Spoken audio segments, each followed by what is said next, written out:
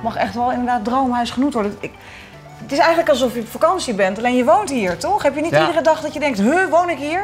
Ja, dat heb ik wel. eh, s ochtends wakker worden en op de een of andere manier, als je wakker wordt, s ochtends ben je toch nog nooit helemaal 100% wakker. Dus Ja. iedere dag is het wel weer eventjes vijf seconden en denk ik, hé, Ja, is dit eh, werkelijk waar ik woon? ja.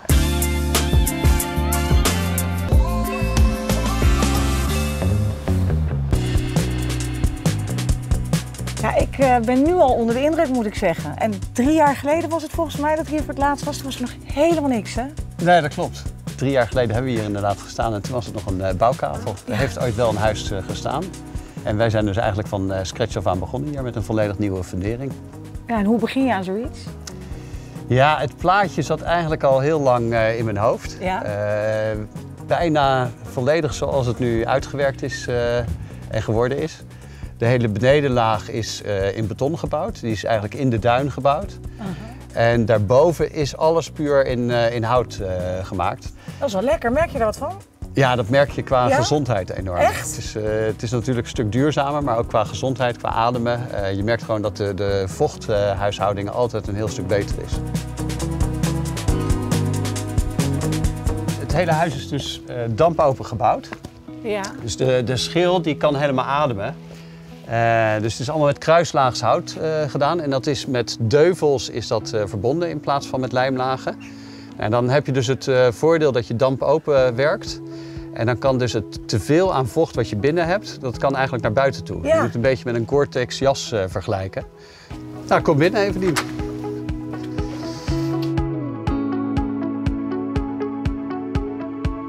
Nou, kom mee, dan gaan we naar de woonkamer. Hey, even, sorry dat ik je even, even stoor nog hoor, maar wat, wat is dit dan bijvoorbeeld? Hoe is dit gemaakt? Heel mooi. Die eh, traptreden die zijn eigenlijk gewoon in eh, de wand bevestigd. Die zijn van staal gemaakt. En eh, die hebben we opgevuld met eh, een multiplex plankje. En die is weer bekleed met leer. Er is echt over nagedacht. En dan bedenk je, heb je dat helemaal zelf bedacht? Of hoe, hoe- Ja, dit zijn, nou, dit, dit zijn ook wel weer ideeën die ik dan eh, van Pinterest afhaal. Eh, maar uiteindelijk zit ik wel zelf alles uit te tekenen, ook met eh, de staaldraden erbij, om ervoor te zorgen dat je hier niet eh, een, een gat krijgt waar kinderen in kunnen vallen of zo. Ja. Ja, deze deuren die vind ik dus echt helemaal fantastisch. Want je ziet overal natuurlijk met zwart staal. En, en dit die bronskleur vind ik zo mooi. Zo. Nee, dus het voordeel van die deur is dat je daarmee eh, ja, in ieder geval het geluid van de kinderen Ja. eh, enorm beperkt. Eh, en dat is wel lekker als je gewoon rustig op de bank eventjes televisie zit te kijken of een boekje aan het lezen bent. Ja. ja, en je blijft toch gewoon het uitzicht houden. Ja, en ja, je ziet hier al eh, uitzicht is, Ja. is eigenlijk adembenemend. En het is ook een, een uitzicht.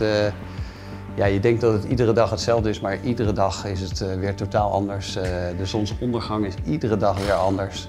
Ik vind alle kleuren ook zo mooi bij elkaar passen, maar ook weer zo mooi bij het uitzicht, dus bij de duinen past.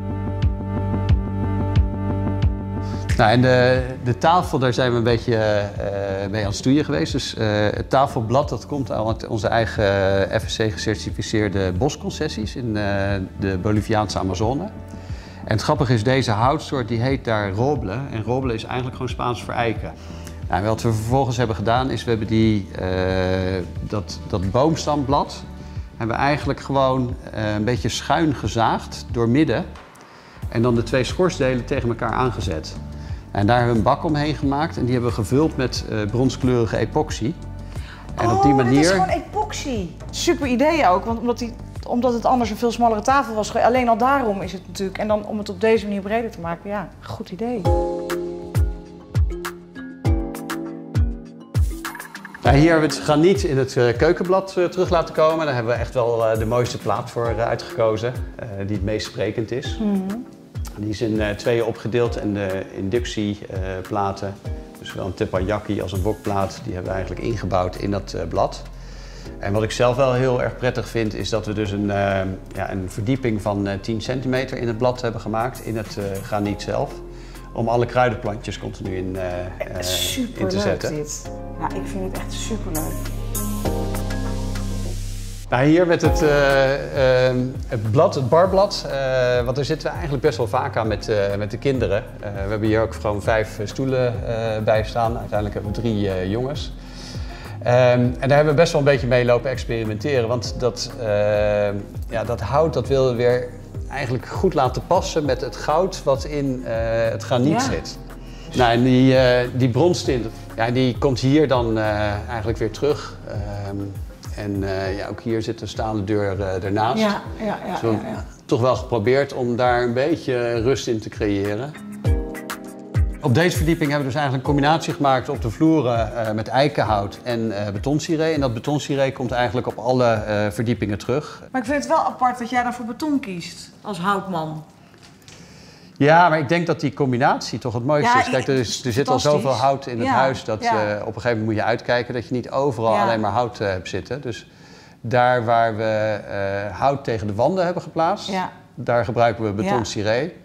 Nou, en daar waar we dan eigenlijk gewoon de muren gesausd hebben, daar kan hout weer op de vloer terugkomen. Maar op het moment dat het zowel op de vloer als tegen de wand aan zit, nee. ja, dan wordt het een soort van overdaad. Ja. ja, dan krijg je een sauna gevoel.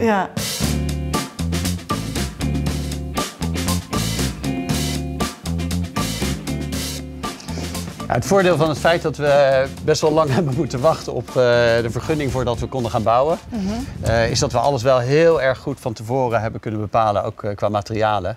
Dus als je kijkt naar de, de vlonderplanken, deze zijn van composiet gemaakt, van ons eigen merk. En dat is qua combinatie dan weer heel mooi, vind ik zelf, met ja, dit boomstamblad. Wat echt een is wel een behoorlijk boompje dit, hè? Ja, Waar komt die vandaan? Deze komt uit Afrika.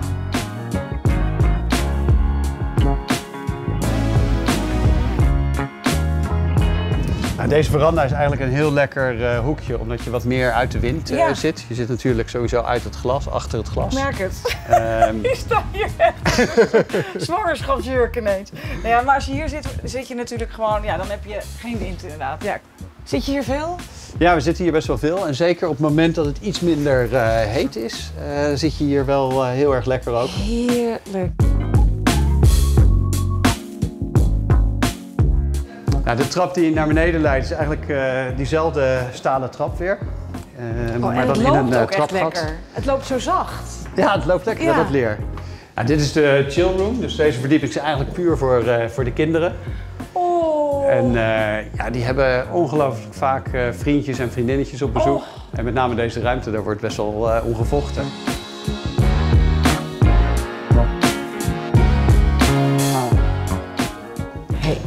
Wat is dit cool? Ja, een, een, wijnkast die ik eigenlijk een beetje heb afgekeken van een Japans restaurant in een hotel in uh, Kuala Lumpur. En dan vond ik het zo ontzettend gaaf dat dat licht eigenlijk door uh, die wijnflessen heen uh, ja. komt. maar om het heel eerlijk te zeggen, het is veel mooier dan het origineel geworden. Ja? Met name bij die roséflessen vind ik het. En je bent echt een man van details, hè? En, en, en, ja, het moet wel allemaal helemaal perfect ja. zijn. En uh, ja, zolang iets nog niet perfect is, uh, is voor mij ook echt niet af. Ja, hier hebben we de zwembadruimte gemaakt en uh, ja, daar hebben we toch een beetje geprobeerd om er een soort van tropische omgeving van te maken. We, we hebben dus specifiek gekozen, omdat we zo dicht aan het strand zitten, voor een binnenzwembad. Het voordeel is dat we dit binnenzwembad eigenlijk ook min of meer als een soort van buitenzwembad kunnen gebruiken, doordat we dan het schuifdak open kunnen gooien. Nou, de kinderkamers hebben we eigenlijk grotendeels ingericht met uh, meubels van onze eigen webshop, uh, Homing Excel. Dus uh, zowel de bankjes als de bedden, die komen daar allemaal vandaan, de stoel. ja, dan hebben we nog een, een misprint van een kitesurfboard hebben we aan de muur kunnen hangen. Bij de jongste zoon die zelf ook vervent kiter is. Naast het golfsurfen natuurlijk. Nou, het leuke voor de jongens is dat ze, ja, ze kunnen eigenlijk gelijk vanuit hun kamer het benedenterras oplopen. Met een tafeltennistafel en uh, golfsurfplanken die allemaal in uh, de stalen kast uh, staan. Dus die hoeven ze maar op te pakken. en ze lopen eigenlijk over de trap lopen ze zo naar het strand toe. En als ze terugkomen hebben ze hier een buitendouche om lekker te douchen na het surfen.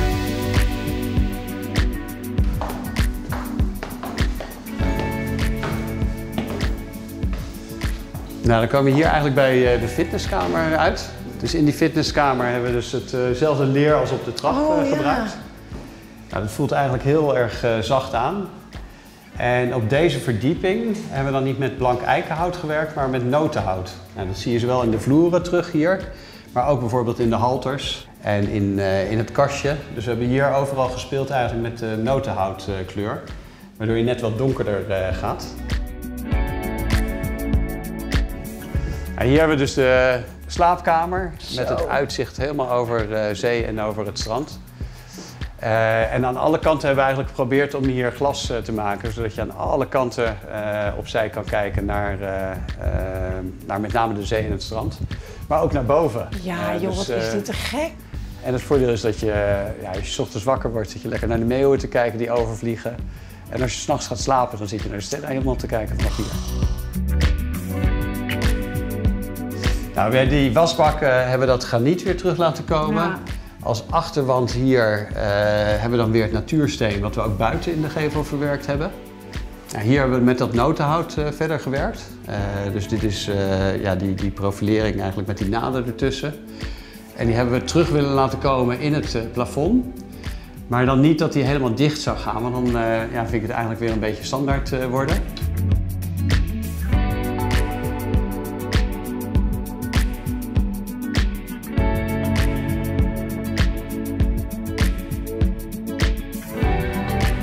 Ja, het, het, het, het- het is echt wel met... het mag echt wel inderdaad droomhuis genoemd worden. Ik, het is eigenlijk alsof je op vakantie bent, alleen je woont hier, toch? Heb je niet Ja. iedere dag dat je denkt, huh, woon ik hier?